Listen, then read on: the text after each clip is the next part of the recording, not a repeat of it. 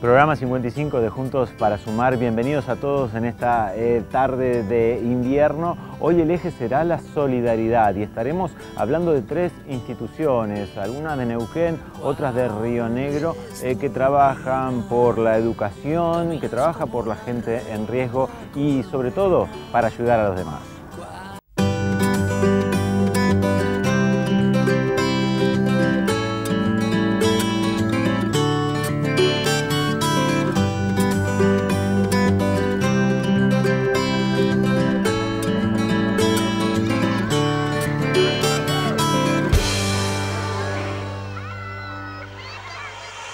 Empezamos con la Fundación Manos que Ayuda, ya la hemos presentado el año pasado. Ahora mm, nos cuentan cómo les fue en el viaje a la línea sur. Ellos llevan 10 años yendo a asistir a los más necesitados de la región sur rionegrina, pero esta vez puntualmente a los damnificados por las cenizas.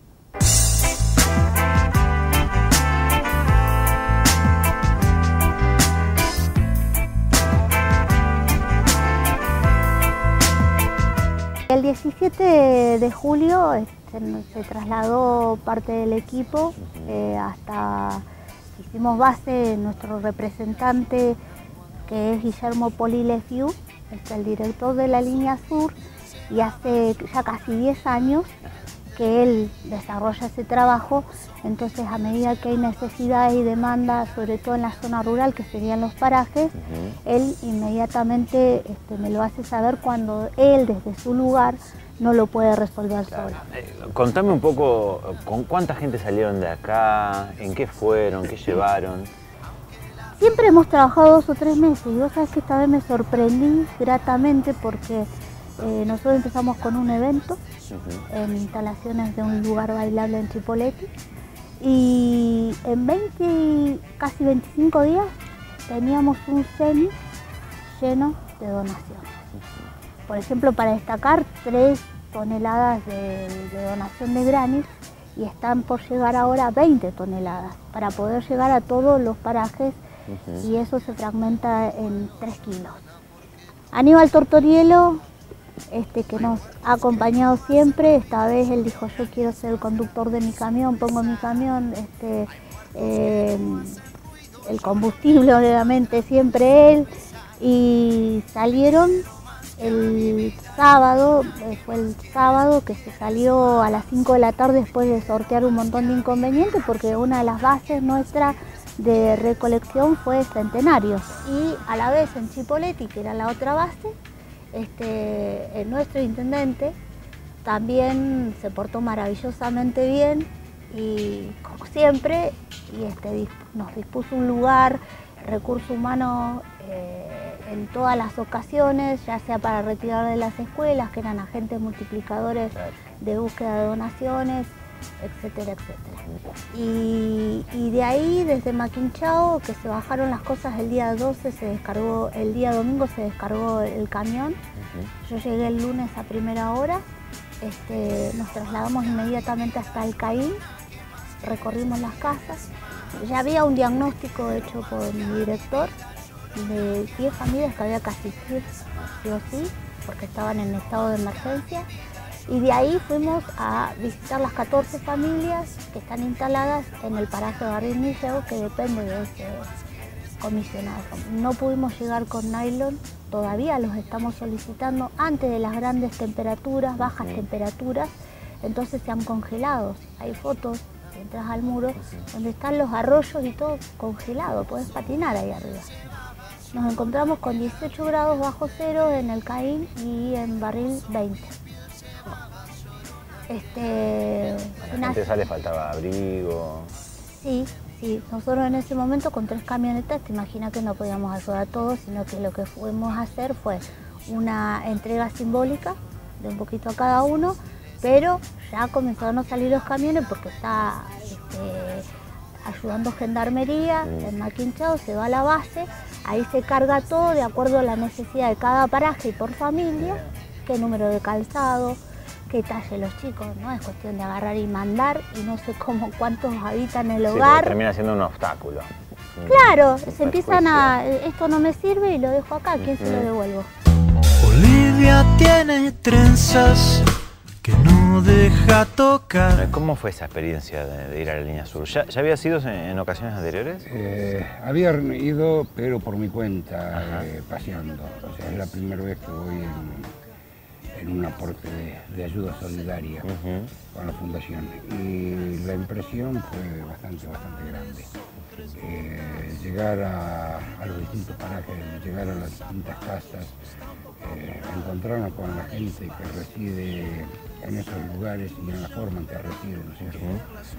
Y ser recibidos con, un abrazo, con una extensión de mano, con un beso, o sea, eh, te llega al alma. Verdaderamente te llega al alma. Viajé eh, con la idea de poder captar, viste, la, realidad que me habían comentado que era muy cruda, pero no al nivel que lo viví ahí, con la gente.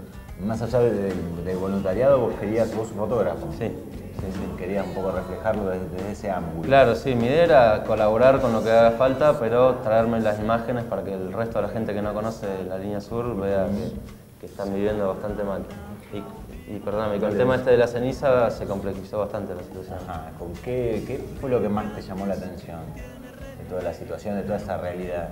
Y lo que, lo que más me impactó a mí fue la situación de, las familias que no tienen nada de ayuda, los nenes eh, como te comentaba antes, descalzo con 18 grados bajo cero, eh, con pocas cosas para comer, sin leña, una madre que se, casi se congela por buscar leña, ese tipo de situaciones fueron las más, las más graves. Animales que muertos, mucha ceniza.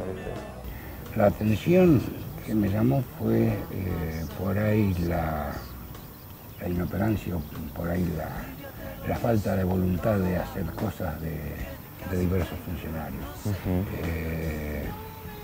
Cuando nosotros llegamos, fuimos los primeros en llegar después de que había empezado a caer la ceniza. Ni siquiera se habían molestado a ver eh, si estaban vivos o no.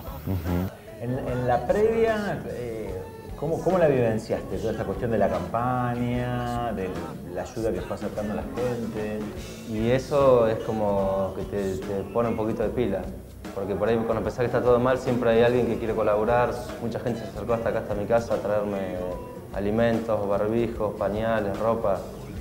Y ir viendo a través de internet, viste, cómo se iba sumando la gente, eso fue bastante en el momento de cargar el camión, descargar, eso fue como bastante, bastante bueno. ¿Hay cosas que, se puedan hacer para ayudar que no sea esta cuestión por ahí inmediata, ¿no? del, abrigo, de la comida?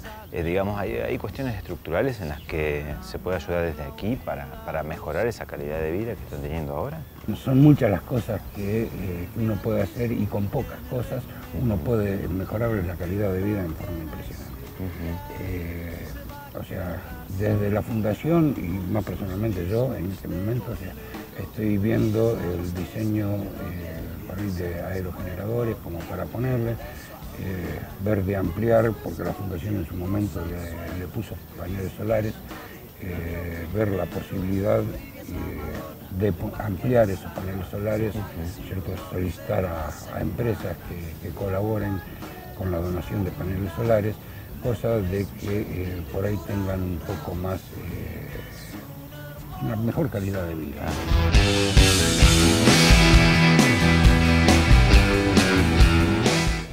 Se vio como, eh, o se ve ¿no? en la foto como mucho trabajo duro, ¿no? pero queda después una satisfacción. No, pues sí, claro, el, trabajo además con la temperatura, creo que ninguno de los que estamos ahí sentimos frío en el momento porque estamos, viste, laburando hormigas para que le lleguen las cosas a la gente lo más rápido posible. una satisfacción importante, la verdad. ¿Qué, dice la gente cuando llegan a la casa, con ayuda, con algo? Y eso, eso también fue bastante, porque la gente de ahí lo poco que tiene, eh, te lo quiere dar. Eh, cuando tuve un tiempo libre salí a caminar por el pueblo y golpeando, charlando con la gente en la casa te hace pasar, te da lo que no tiene, es, como muy solidaria. Siempre un mate, una Siempre un mate o algo para comer, sí, la verdad que sí. Y por ahí es algo que no se ve en la ciudad, que la gente viste vive perseguida, con miedo, no sin confiar, y en esos lugares es muy, muy particular. Te abren las puertas más fácilmente. Te abren las puertas sin saber quién sos.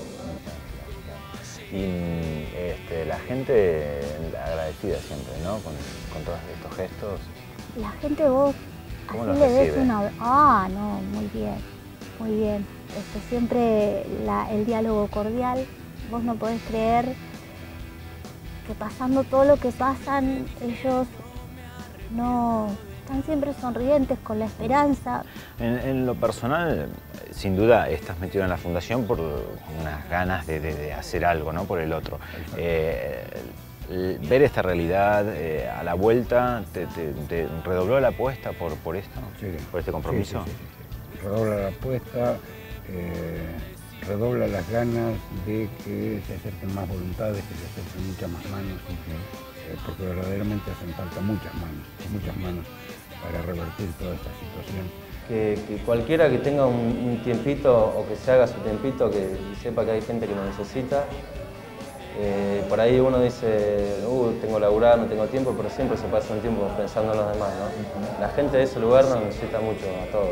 Felicito a todas las organizaciones y a los jóvenes este, que, pelean por su lugar de nacimiento. Los invitamos a sumarse y, en la comunidad que colabora, yo les garantizo la tranquilidad de que nosotros nos, trasladamos a cada lugar y vamos casa por casa. Hay un lugar para vos, acá adentro tuyo hay un lugar para la Fundación Manos que Ayuda va a hacer otro viaje a la línea sur. Hay otras necesidades por cubrir. Métase en el Facebook o en el blog de nuestro programa para conocer de qué manera podemos dar nuestra mano. Al regreso de la pausa, le presentamos a la Fundación Faro de Neuquén.